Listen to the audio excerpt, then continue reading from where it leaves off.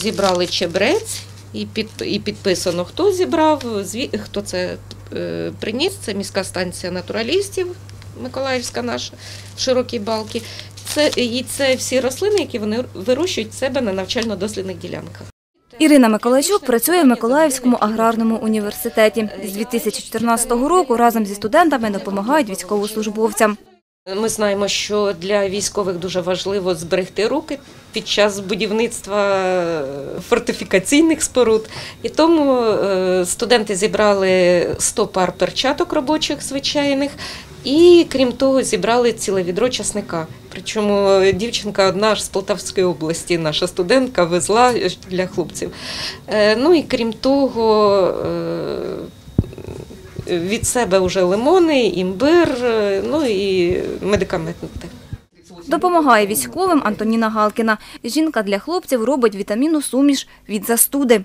Все началось с того, что одному... Все почалося з того, що один боєць почав кашляти і подзвонив мені. Я говорю, що робити? Ви що, всі застуджені? І ось мед, імбир та лимон – це бронебійна суміш, яка протизастудна. Основна робота – це електром'ясорубка.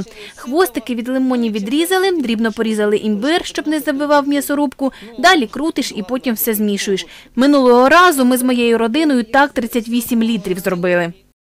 Пункт прийому допомоги військовим – кав'ярня «Сама та кава». Власниця Маргарита Кулик до відкриття закладу займалася волонтерською діяльністю. Говорить, для неї в радість збирати таку допомогу. Моя роль дуже маленька. Я просто приймаю передачі, які приносять люди е, для військовослужбовців. Знаю, що це потрібно для хлопців. е, Можливо, навіть не скільки допомога, скільки увага від пересічених громадян, що про них думають, дбають, е, переживають.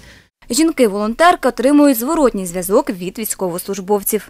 Нам присилають фото вже хлопців, які там е, отримали ці подарунки. Особливо е, до сих пір ціняться дитячі малюнки, дитячі якісь поробки. Е, Вони як оберіги їх використовують. І звичайно, протизастудні всі засоби вони теж йдуть на ура. І варення, тобто це допомога, така підтримка, підтримка і моральна.